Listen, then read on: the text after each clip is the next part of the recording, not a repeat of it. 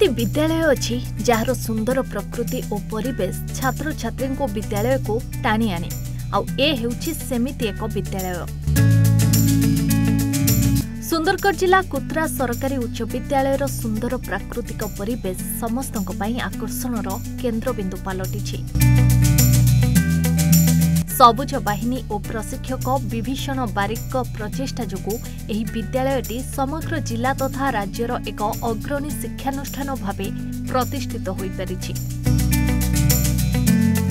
School ଚାରିପଟେ କେବଳ ଫୁଲ ଗଛଠାରୁ ଆରମ୍ଭ କରି ବିଭିନ୍ନ ପ୍ରକାର ଔଷଧୀୟ ଗଛ ଦେଖିବାକୁ ମିଳେ ଏଠାରେ। ପନ୍ଦର ବର୍ଷ ତଳେ ସେ ସ୍କୁଲର ଛାତ୍ରଛାତ୍ରୀଙ୍କୁ ନେଇ ସେଠାରେ ଏକ ସୁନ୍ଦର ଇକୋ ପାର୍କ ନିର୍ମାଣ କରିଥିଲେ। ଶହ ଶହ ପ୍ରଜାତିର ବିଭିନ୍ନ ବୃକ୍ଷରୋପଣ ପୂର୍ବକ ଅନୁଷ୍ଠାନର ଚତୁର୍ଦିଗରେ ସବୁଜ ବଳୟ ସୃଷ୍ଟି କରିପାରିଛନ୍ତି। କେବଳ ତାଙ୍କରି ପ୍ରଚେଷ୍ଟା ଯୋଗୁଁ ଅନୁଷ୍ଠାନଟି ପ୍ରକୃତି ମିତ୍ର ସାଙ୍ଗକୁ ଗ୍ରୀନ୍ ସ୍କୁଲ ପୁରସ୍କାର ବି ଲାଭ କରିପାରିଛି। ପ୍ରକୃତି ପ୍ରେମୀ ଏହି ନିଆରା ମଣିଷ ଜଣଙ୍କ ଛୁଟି ଦିନମାନଙ୍କରେ ବି ନିଜର ଅବଶିଷ୍ଟ ସମୟ ପିଲାଙ୍କୁ ପ୍ରକୃତି ଓ ପରିବେଶ ସୁରକ୍ଷା ଦିଗରେ ସଚେତନ କରାଇଥାନ୍ତି। ଆମ ବିଦ୍ୟାଳୟ ପାର୍କ ଭଳିଆ ହେଇଛି। ଏଠାରେ ବିଭିନ୍ନ ପ୍ରକାର ଫୁଲ ଗୁଡ଼ାକ ଲଗା ହେଇଛି।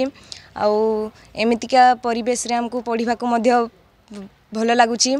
ଆଉ ଏଠାରେ ଆମର ବାରିକ ସାର୍ ଆଉ ଇକୋ କ୍ଲବ୍ ଏଇ ଗଛ ଗୁଡ଼ାକ ସବୁ ଲଗେଇଛନ୍ତି। ଆଉ ତାଙ୍କର ଗଛ ଗୁଡ଼ାକର ଯତ୍ନ ମଧ୍ୟ ନେଉଛନ୍ତି। ମାନବ ସେବା ବନ୍ଧୁତା ସ୍ୱାସ୍ଥ୍ୟ ତାଙ୍କର ଏପରି କାର୍ଯ୍ୟ ପାଇଁ ତତ୍କାଳୀନ ଗଣଶିକ୍ଷା କମିଶନର ଅପରାଜିତା ଷଡ଼ଙ୍ଗୀ କୁତ୍ରା ଉଚ୍ଚ ବିଦ୍ୟାଳୟ ପରିଦର୍ଶନ କାଳରେ ତାଙ୍କୁ ଆଦର୍ଶ ଶିକ୍ଷକ ଭାବେ ପରିଚୟ ଦେଇଥିଲେ। ଛାତ୍ର ବର୍ଷଳ ଏହି ଶିକ୍ଷକ ଜଣକ ରାଜ୍ୟ ସରକାରଙ୍କ ତରଫରୁ ଦୁଇହଜାର ପନ୍ଦରରେ ରାଜ୍ୟସ୍ତରୀୟ ସମ୍ମାନ ସହ ପ୍ରକୃତି ବନ୍ଧୁ ସମ୍ମାନ ଆଦର୍ଶ ଶିକ୍ଷକ ସମ୍ମାନ ବିଜୁ ଜନ୍ମ ଶତବାର୍ଷିକ ସମ୍ମାନ ଶ୍ରେଷ୍ଠ ଆୟୋଜିକ ଓ ଶ୍ରେଷ୍ଠ କାଉନ୍ସିଲର ସମ୍ମାନ ସ୍ୱାମୀ ବ୍ରହ୍ମାନନ୍ଦ ଓ ସ୍ୱାମୀ ରାମଦେବ ସମ୍ମାନ ତଥା ରକ୍ତଦାନ ପ୍ରୋତ୍ସାହକ ସମ୍ମାନ ଆଦି ବହୁ ସମ୍ମାନର ଅଧିକାରୀ ହୋଇପାରିଥିଲେ। ପ୍ରକୃତି ପ୍ରେମୀ ଏହି ନିଆରା ମଣିଷ ଜଣକ। ପିଲାଙ୍କ ପାଇଁ ସବୁ ସମୟ ଉତ୍ସର୍ଗ କରିଆସୁଥିବା ସହ ଛୁଟିଦିନମାନଙ୍କରେ ନିଜର ଅବଶିଷ୍ଟ ସମୟ ପ୍ରକୃତି କୋଳରେ କଟାଇ ପିଲାଙ୍କୁ ପ୍ରକୃତିର ସୁରକ୍ଷା ପରିବେଶ ସୁରକ୍ଷା ଦିଗରେ ଶିକ୍ଷାଦାନ କରିଥାନ୍ତି। ପାଠପଢ଼ା ସହ ପିଲାଙ୍କୁ ପରିବେଶ ସୁରକ୍ଷା ପାଇଁ ବାରମ୍ବାର ପ୍ରେରଣା ଦେଇ ଆସିଥାନ୍ତି ସେ।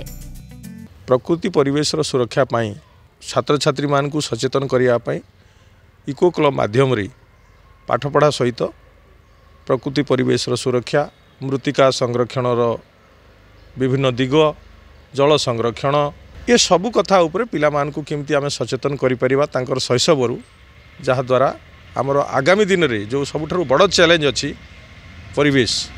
ବର୍ତ୍ତମାନ ଆପଣ ଦେଖୁଥିବେ ଗାଁ ଗଣ୍ଡା ଠାରୁ ଧରିକିରି ସହର ପର୍ଯ୍ୟନ୍ତ ସବୁଠି ପରିବେଶ ପ୍ରଦୂଷଣ ମାତ୍ରା ଦିନକୁ ଦିନ ବଢ଼ିଯାଉଛି ତେଣୁ ଆମେ କିଭଳି ଭାବରେ ଗୋଟେ ସୁନ୍ଦର ପରିବେଶରେ ବଞ୍ଚିବା ଏଇଟା ପିଲାମାନେ ପାଠପଢ଼ା ସହିତ ଶିଖିବେ ଆଉ ସେଇଥିପାଇଁ ବୋଲିକିରି ସୁନ୍ଦର ପରିବେଶଟା ସୃଷ୍ଟି କରାଯାଇଛି। କୁତ୍ରାରୁ ଦେବାଶିଷ ସାହୁଙ୍କ ରିପୋର୍ଟ ଓଡ଼ିଶା ଭାସ୍କର।